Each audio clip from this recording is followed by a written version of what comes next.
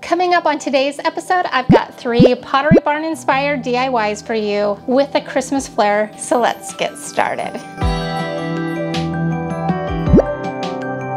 Welcome to Designed to the Nines. If this is the first time we're meeting, I'm Natalee Callahan and I'm so glad you could join me today. On today's episode, we are going to be knocking off three Pottery Barn items. We're going to be doing it for a tiny fraction of the cost.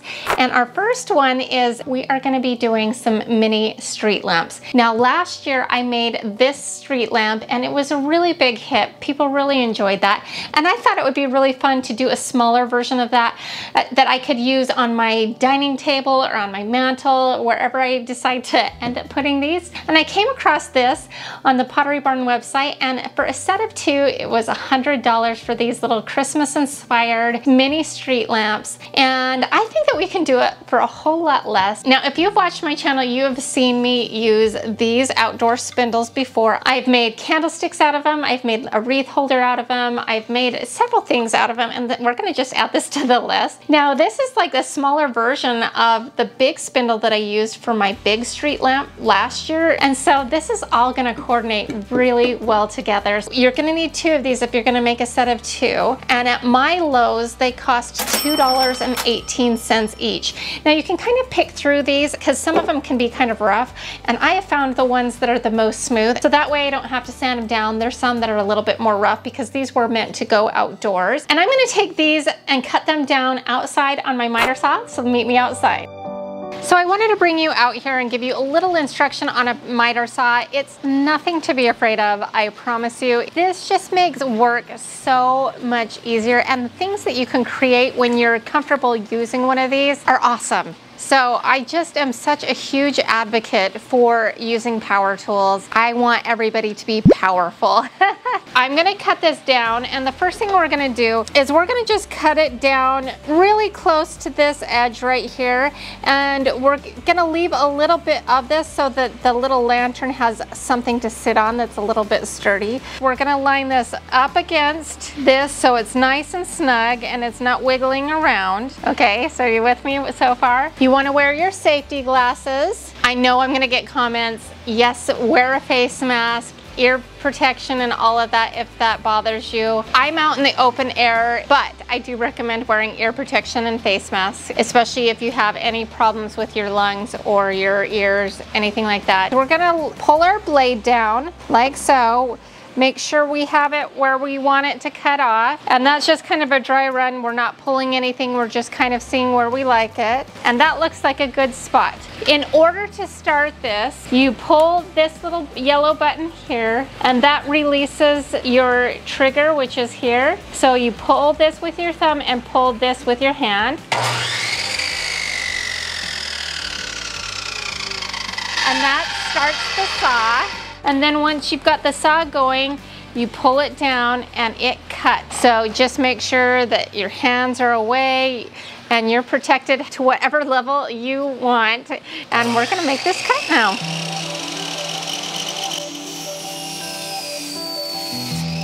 Okay, so you can see that we've got a little ledge for this to sit on. So then we're gonna mark to 16 inches down from our new cut. Here I marked it to 19 inches, but decided later it was just too long, so ignore the extra few inches for the next part as I do get it how I like in the end. And then once we cut this down, we can use this for our second one to use as like a pattern. So let's just go ahead and make this cut. Now, if you don't have a miter saw, don't feel bad. You can get this job done with just a simple miter box. And these are not very expensive, maybe 10 to $12, I believe. And you can cut these down by hand. Okay, so now we've got these the same height. They're good to go. And what we're gonna do is we're gonna just take a little sanding block and just kind of sand off any loose fibers from the cut and just so it has a smooth edge. You don't need much there. And then kind of do that on the top as well. Just want it to be as finished as possible. Okay, now we're gonna take our square base. You can get these at Hobby Lobby, four in a pack for $2.99 and then always buy them 50% off so you can get four in a pack for $1.50, which is a great deal. And what we're gonna do is we're gonna mark the bottom of our little lantern stand right in the center and then we're gonna do the same in here and just mark center and we'll measure on the bottom here.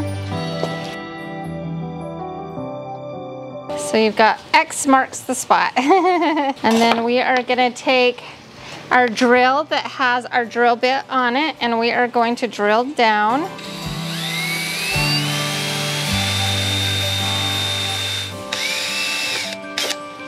And then the same on your other, on the bottom here, so it has a starting point. And you don't have to go in very far just enough so it has something to grip. Now because we don't want this to wobble, we want to countersink the hole. And you can do that with a larger drill bit if you want, but I actually have a, a countersinker bit that looks like that. And we're gonna put that in our drill. Make sure it's nice and tight, and then we're gonna countersink the hole. And that's just so the, the screw head doesn't make it wobble. See how easy that is? I know you can do this. We've got this. So make sure you put the regular Phillips head bit back on. And now we're gonna just take our screw, screw it in the bottom of our plaque and into the bottom of our lantern, and then we've got our foundation.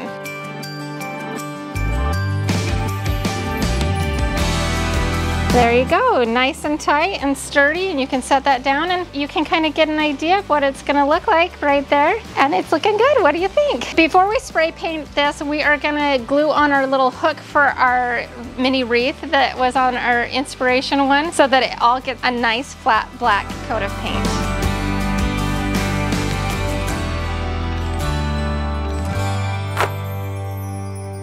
So now that we've got that spray painted, it's time to add our little mini lantern. Now I have a couple of options for you. If you hurry to the Dollar Tree right now while they still maybe have some Halloween stuff, they have these little mini lamps. Now it originally comes with like a yellow plastic insert with like bats and things on it. As soon as I got home, I immediately kind of pulled it out and tossed it. I should have kept it so you could know what exactly it looks like. It's a dollar. It could work for you.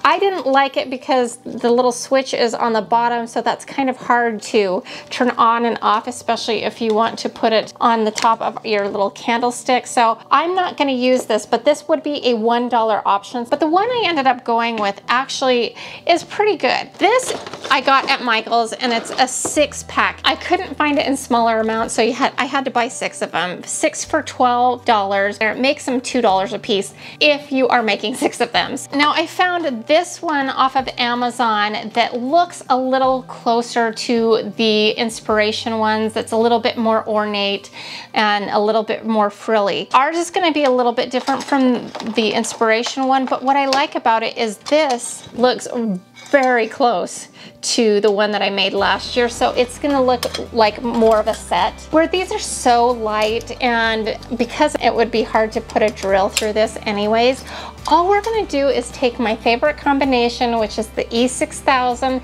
and hot glue combo. I like the Gorilla hot glue because it's really, really much stronger than other ones. And we're gonna glue that to the top. And then the very last thing we need to do is I have a little bit of this vine left over. I just used a little tiny of it last year for some little Christmas ornaments.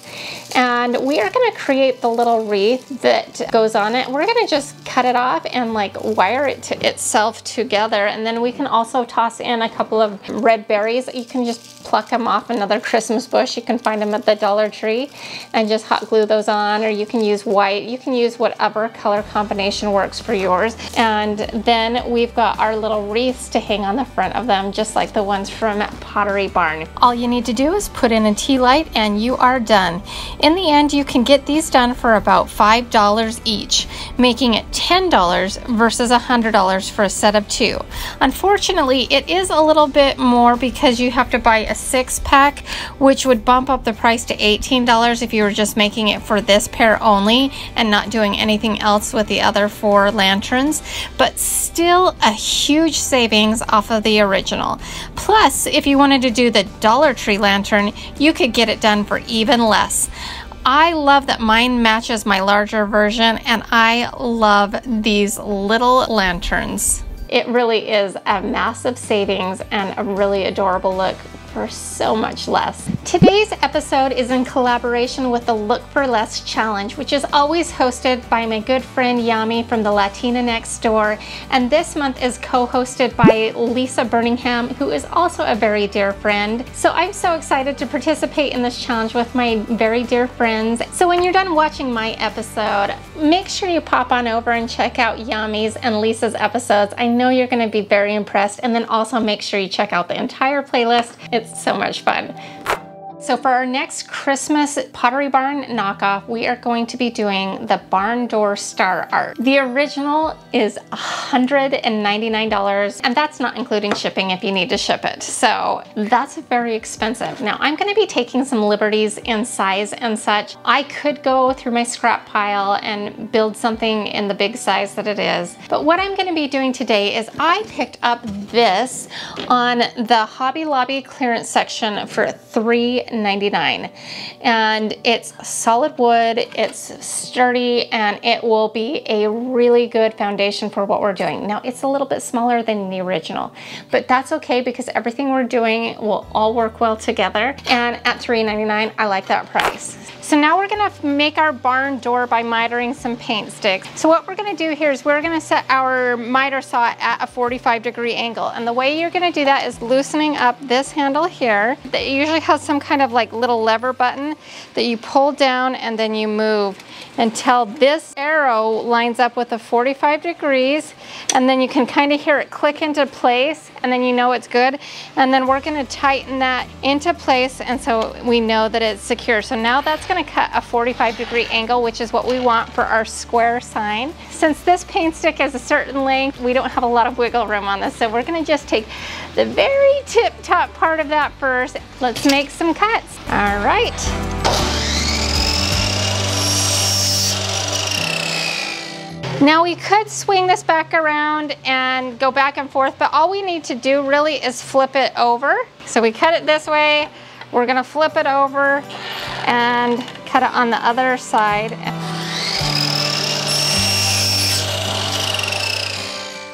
So this should fit right up in our corner and we didn't take a whole lot off for it, so that should fit there. And then we can make our marks down here.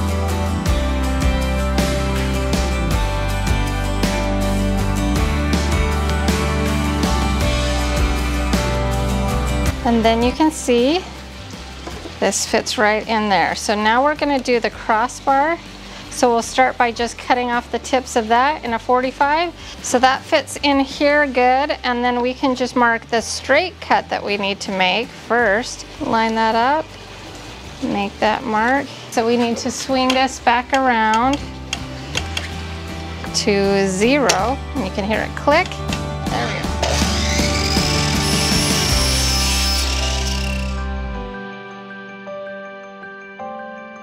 Hopefully this fits right down in there, which it does. Kind of get off some of the loose fibers here. Mark our 45s here.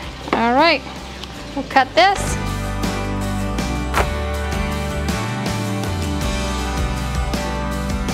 Now once you have your pieces cut, I'm going to just glue these into place with E6000 and hot glue same glues, I love them. I love the combination because you get the instant stick and then you get the strong hold.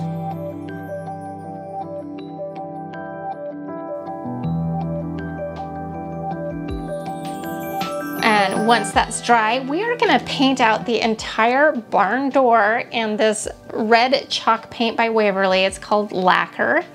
And we're gonna just paint out the entire thing in that color.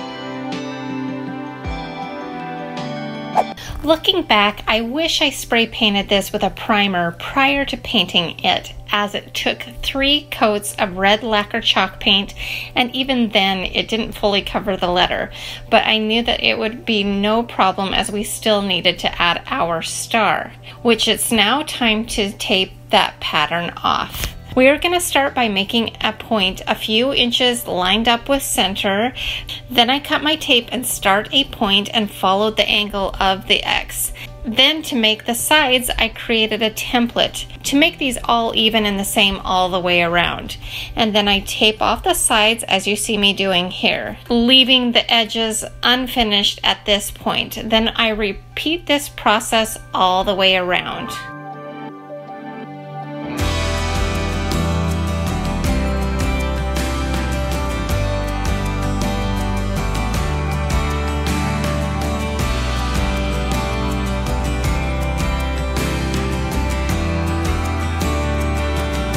Once you are done, take a straight edge and cut them off square.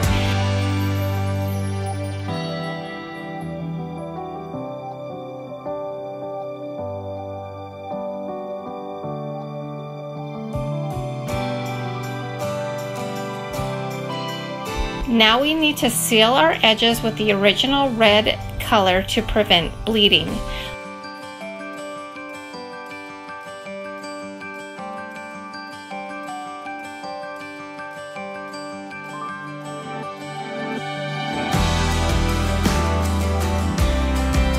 Once that's dry, we're to do three coats of ivory chalk paint.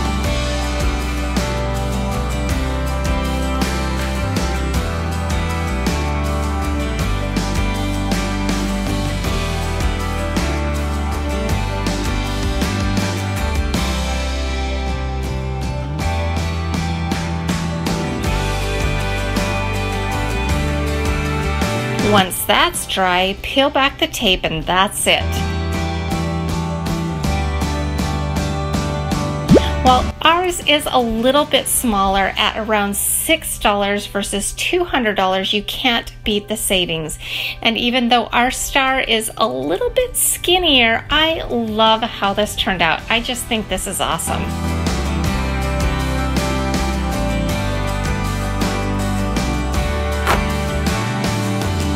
Right, so for our last Christmas Pottery Barn knockoff, we are going to be doing the Merry sign. Now this Merry sign is $80 on their website and we are going to be taking again some liberties in the sizing of it because I think these sizes will not only work with our budget but it will also create a nice vignette with the other things that we've made on today's episode. We are going to take this frame that I picked up from the Dollar Tree and I liked this and it looked really similar to the thin black frame that was on our Pottery Barn inspiration. We are going to use our $1 frame and a sheet of chipboard that I got at Michael's for around 50 cents. Start by taking everything out of the frame, then we're going to take our cardboard piece from the frame and use it as a template to trace out the size that we need for the chipboard. Then we're going to cut that out. And then we're going to take that same red lacquer chalk paint and do a couple of coats with that.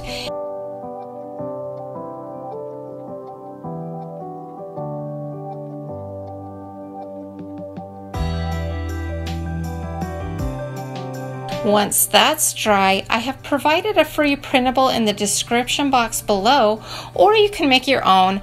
I just typed out the word Merry in the font Hahnemann and set it at a 137 point font. Then you can take a piece of graphite paper and trace this onto your chipboard and then hand paint it out in ivory chalk paint. Because I don't have that steady of a hand, I'm just going to use a stencil that I've created on my Cricut machine using this image. I do two coats of ivory chalk paint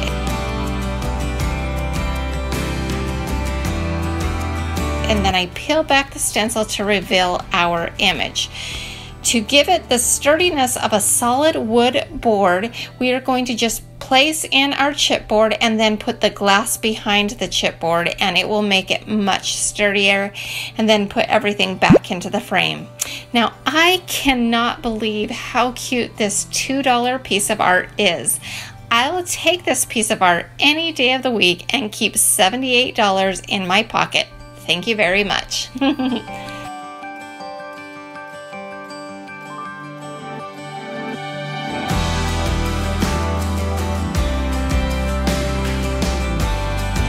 enjoyed this episode, here's another one that I think you'll like as well. Don't forget to check out the Look for Less playlist as well as Yami and Lisa's episodes. All of the links are in my description box below. If you haven't already done so, hit that subscribe button. I'd love to see you around next week. And until next time, to all of my DIY Niners, bye.